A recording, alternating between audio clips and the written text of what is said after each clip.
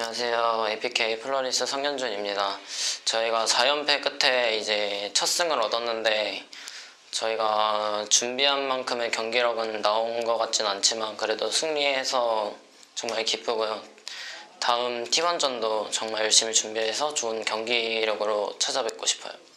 저희가 그 전까지 많이 지다 보니까 선수들이 많이 자신감도 잃어가고 또 멘탈 쪽에서도 걱정이 많아서 선수랑 이제 코치 감독님 다 합쳐서 자신 있게 하자 후회 없는 경기하고 싶다고 딱 그런 느낌으로 왔어요.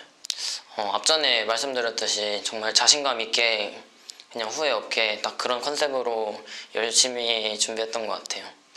어, 1세트 때 제가 펍을 따고 나서는 딱히 잘하는 게 아니라서 저도 약간 긴가민가 했는데 저희 bottom duo가 약간 자신감에 차올라서 이니시 먼저 열자고 먼저 그렇게 얘기한 순간부터 좀 저도 자신감 오르면서 이게 승리를 좀 확신한 것 같아요. 음, 좀 많은데 담원전 1경기 너구리 선수한테 backdoor 당해서 진 경기랑 그리고 아프리카전 1경기도 정말 아쉽게 졌는데 다 이길 수 있는데 못 이겼다고 생각해서 좀 아쉬워요.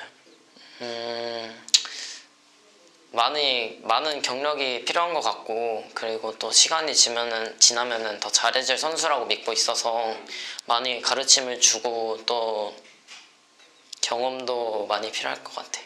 어, 원래 쉽지 않은 리그라고 생각하고 있었어서 역시 와보니까 쉽지 않구나라는 좀 그런 느낌도 받고 그래도 열심히는 열심히는 해보자라는 생각도 갖게 됐어요.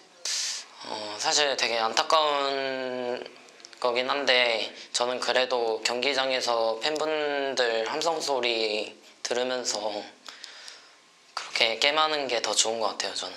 익수 선수, 익수 형 맞는데 또 모든 팀원들이 다 분위기 이끌어 가려고도 하고 또 가끔은 제가 이끌 때도 있고 가끔 하이브리드 선수가 이끌 때도 있고 그런 편이 저는 PO 들어가는 게 제 최고 목표입니다. 음, 사실 T1도 되게 잘한다고 생각하고 있는데 저희도 열심히 준비해서 꼭 이기고 싶어요.